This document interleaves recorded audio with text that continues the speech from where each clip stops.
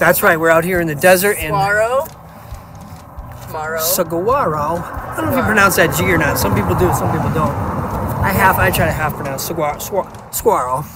It's like people saying, you know, Worcester. Yeah. Worcester. All right. So thanks for joining us in the, in the afternoon here. Well, we got five o'clock back there, right? You okay? Something trying to kill you over there? Something's trying to kill me over here. Don't take much.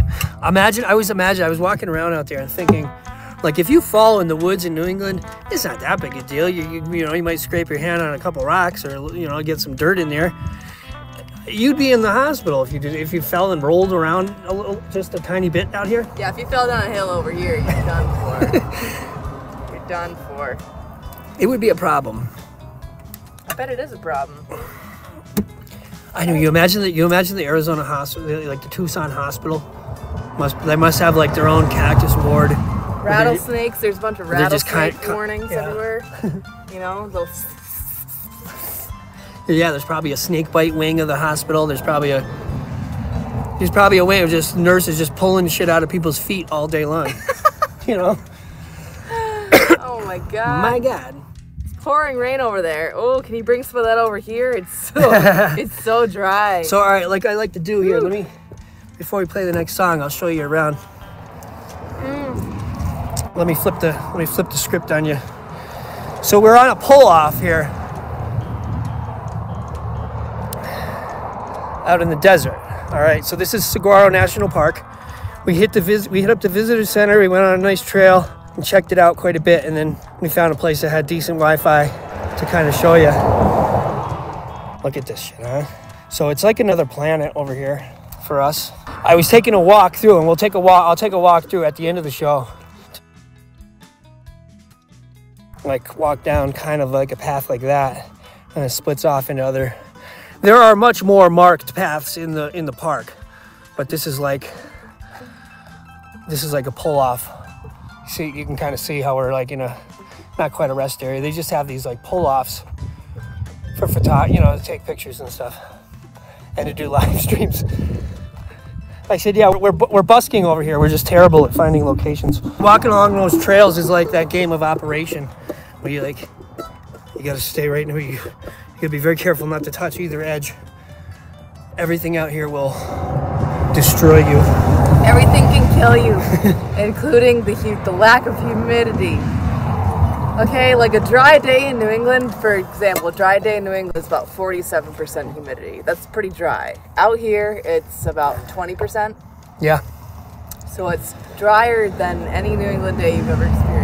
Oh, but it's a dry heat. And yeah. I've been told by my a- mother and by the hiker's guide from Saguaro National Park that you got to eat salty foods in order to maintain water. And Jeff questioned whether or not that was true, but after reading the hiker's guide, um, I think my mom's right. The Hiker's Guide to the galaxy. And I ate uh, two bags of chips and two bottles of water. I ate, and I think I've lost all of it already. Yeah. So dry.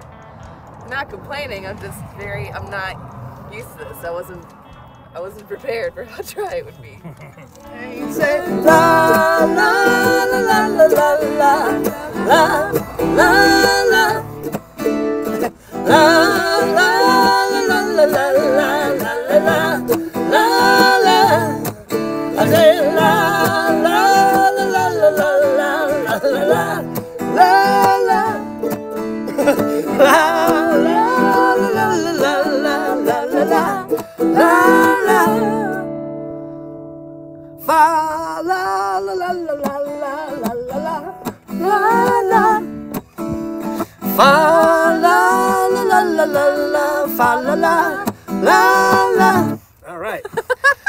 Christmas music in the desert. All right.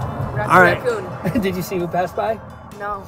It's official. The police in Squar in, in Arizona are, are cooler than the police in where? San Antonio. in Texas. Texas. San Antonio, Texas. And the, they got, we got shut down in the Alamo, but a, a cop okay. a cop just drove by. Not that they, they would have a problem with this, but um, a cop just drove by, gave us a thumbs up on, on his motor. Really? He on it. did? Yeah, on his motorcycle. I thought it was a biker, and then I saw that it was a police motorcycle.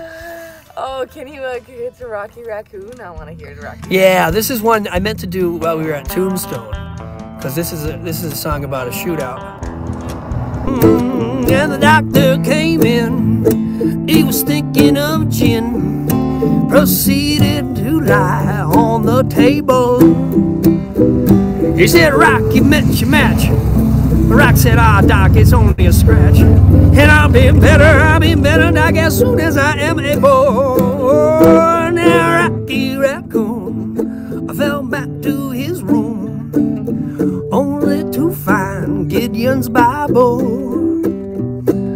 But Gideon checked out, and he left it no doubt to help with good Rocky's revival.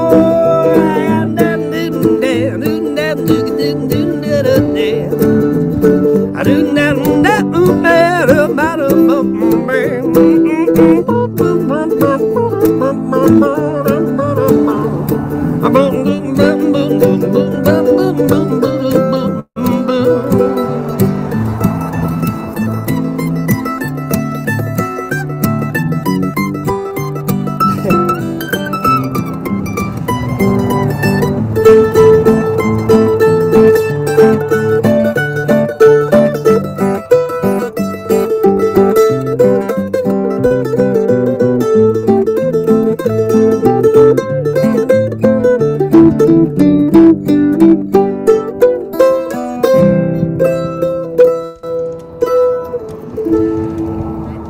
Thank you.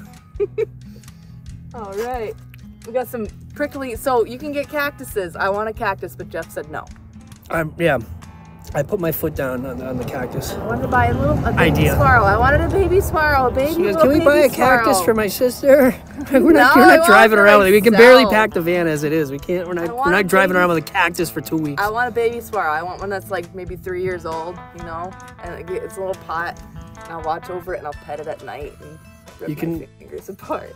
You can order a cactus Oh, I'm gonna order a cactus from the yeah. am, from the Amazon. from the cactus outlet. It's called. Amazon doesn't own everything. As long as we're not driving around with a cactus in the van for two weeks, you do whatever you want. Yeah, because they, I mean, they grow so slow. I could be like, I could be like 90 years old before they get a, before they even get their arms. I mean, geez, 75 years? No, I won't even be here. I won't be 105. I really don't have high hopes for that.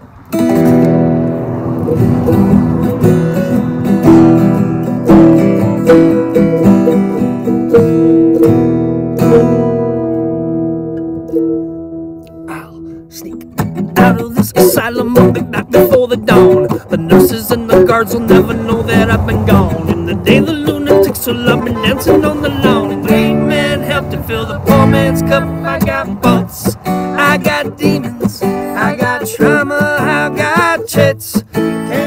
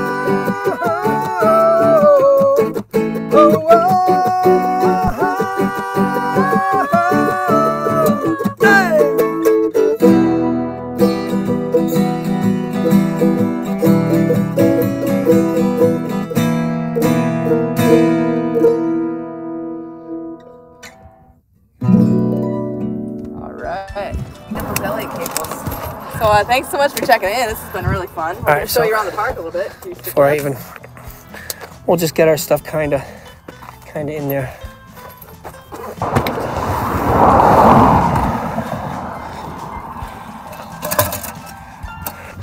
This goes right here. This goes inside. If you want to tour the desert, you can just hang out for one second while we put our things back in the van and the cooler, and that's about it. So, all right, we'll be ready in 30 seconds for you here.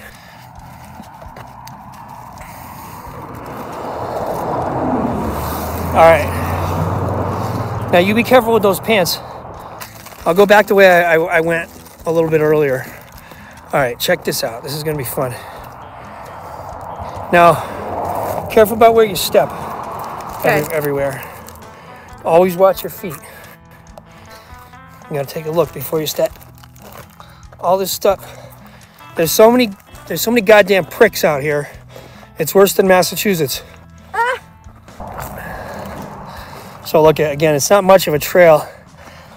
I can't imagine the horses going through this, but they, you know, animals are pretty nimble. I suppose if you grow up around this, you kind of get used to it. We met a couple from New Hampshire, and then they they were telling us about somebody they were talking to in this area in the desert, and they go, "Oh, I'm not afraid of the desert at all, but those those woods you got up there in New Hampshire, I'm afraid of all those trees." And we go, "Huh? How can you be afraid of trees? Well, you never know what's behind them." Yeah. huh? so these are the pencil, the pencil chollas, right? We're starting to learn the names of some of these things. And then the other kind, yeah. Look at. I'm five foot So here's here's Noelle, all right. I'm five two, maybe five three with these boots on.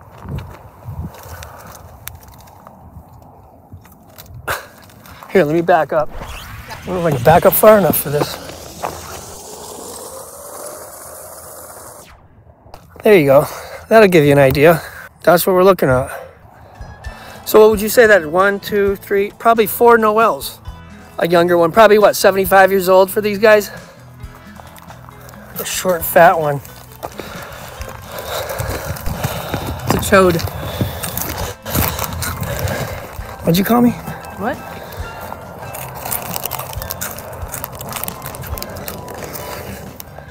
All right. We can't go that way. Water? Always pushing water on this guy. Thank you. All right, I want to go back kind of. We're gonna we're gonna get into it a little bit here. We're making Kim nervous. Right here, ready? We're out in the middle of the desert. Like I said, it's it's like that game of that game Operation, where you, you can't touch the sides. So there's Tucson. I don't know how well you can see the city over there. Well, it's like the outskirts of the city, but so you gotta watch for rattlesnakes. You gotta watch for what else do we have to watch out for? Black bears, but I think we're all right right now. Snakes, bobcats, mountain. Is there snakes? Yeah, I haven't seen a snake yet, but yes, they, we're, we've been warned about snakes. Yeah, that cactus got to be like easily 150 right there.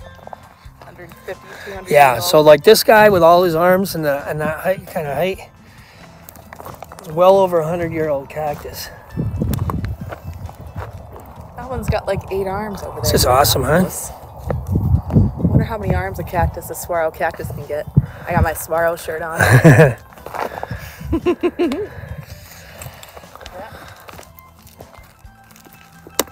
Not sure what happened to this guy's arm. This guy almost got his arm cut off here.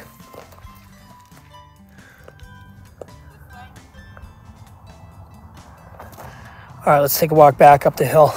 It's a beautiful day out. It's not, uh, there's a lot of cloud coverage right now. All day has been. And what's the temperature? About, probably about 70. It feels like 70. Thing I want to tell you about Tucson and what what we're finding out is that this is actually peak season for places like this for the desert because it's not unbearably hot like it is during our warm months, May through October. For instance, the KOA we're staying at, their their their office hours are reduced great vastly in the summer and May through October. But this is the busiest time of year to be in Tucson because it's not 120 degrees out. you know, so it's uh, it's really weird. It was it's weird thinking that their off season is May through October. You know? And it's really weird being in, in the desert in January. It's so warm. It's different life out here. You gotta drink twice as much water as you would every hour. Every hour. And you gotta lotion your skin. Why be turning freaking armadillo? There's not enough lotion in the world. Yeah, and then these guys are everywhere. Yeah, those are the scariest ones.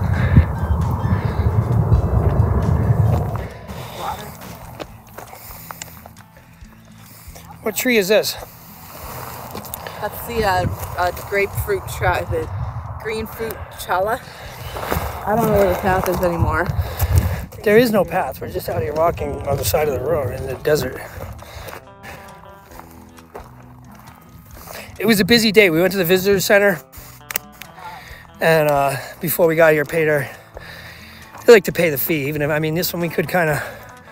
Doesn't seem like it would even matter on the, on the, at this park. You can just pull off anywhere and just go walking around, but pay our twenty-five dollar national park tax, I call it. You know, fine with that one. You know? That is probably like 15 years old. Oh yeah. Oh, it's so cute. Isn't it cute? They're so cute when they're- old. Look at them. Look at the little cactus. baby cactus. That's what so. I mean. I want one. no, I want it. we're not putting that in the van. Oh my god, I want it. Hell no. I want a little one. I want one that's like, I don't know, six months to a year old. They're so cute at that age. Oh, Jeff, the Apache. Let, let me tell them that the Apache Indians, one of their ways to torture uh, their captives was to Oh. tie them to a cactus and leave them to die. Yeah. This was like, that was torture back a couple hundred years ago. It's a lot more thickly uh, settled than I thought. Like uh, as far as um, it's like a forest of uh, cacti here. You know. Just these little guys everywhere. I gotta get the I gotta get the names of them so I don't have to so I don't have to just say in the desert there were plants and rocks and and things. The giants of the desert right there. So there's like a valley that probably gets filled up with water when the when the heavy rains come.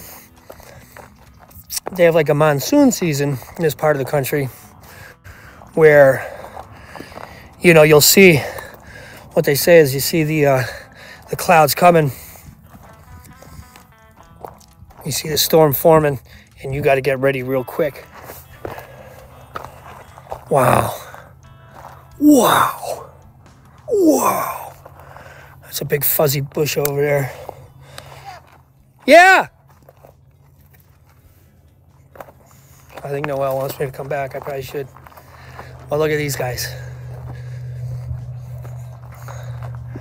That is the fruit charo. Yeah, look at that. They look so soft.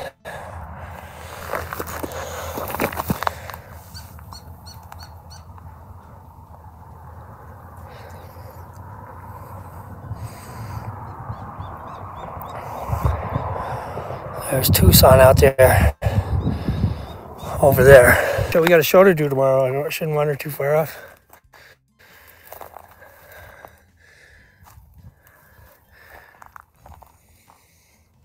All right, let's head back. All right, let's see. Where do you guys remember where the van? The oh, shit. Do you guys remember where the van is? Oh man.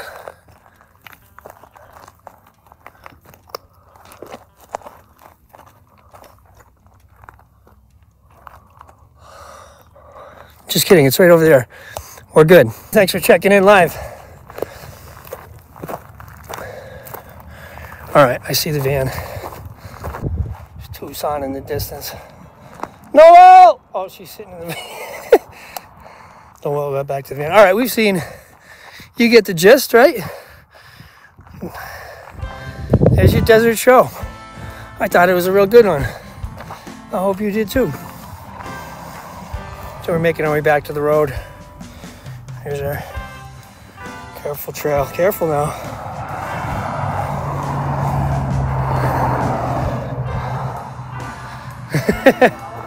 All right, you ready to hit the road? All right, we're gonna hit the road. We'll see you tomorrow. We might be going live from our friend's Lou, Lou's house. Luthier Lou. Lou the Luthier. We'll be staying at his house. We have a friend in Tucson. Gonna be making us dinner and putting us up for the night. So we gotta thank Lou big time for that. And uh, all right, so we'll see you guys tomorrow from somewhere in Tucson. Thanks thanks so much for checking in, and also peace to everybody watching in the future. All right.